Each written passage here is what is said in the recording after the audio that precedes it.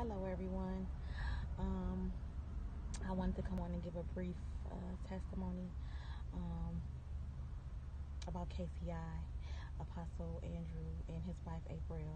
Um, I've been following them for about two years now, um, and they have released so many blessings in my life. I've been following and sowing into their ministry.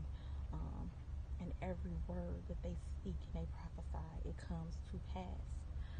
Um, last year, um, I was dating my boyfriend. Um, they released over um, Facebook. They said a lot of our uh, our daughters will be getting proposed to, you know, engaged. Um, and I was one of those those women.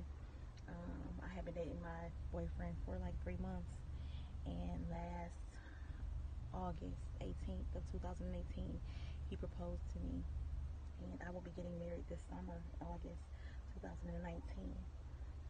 When I tell you how powerful they are and how powerful their ministry is, everything they promise I come to pass.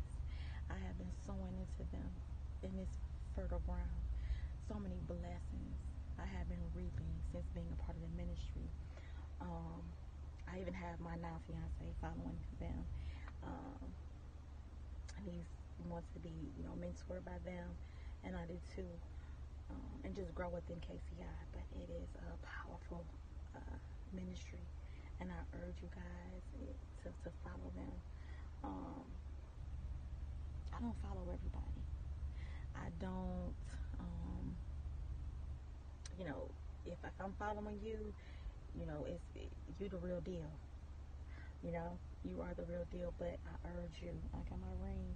See, and I wasn't the only one. I've seen so many different women um, that's a part of KCI that gave a testimony. Um, and they're married or engaged, and they're the real deal, y'all. And I had to get on here and give a testimony. I had to, and I have so many more. But um, yeah, God bless you all, and I urge you to follow them and be a part of their ministry because they're powerful. God is really moving through them. God bless you all. Amen.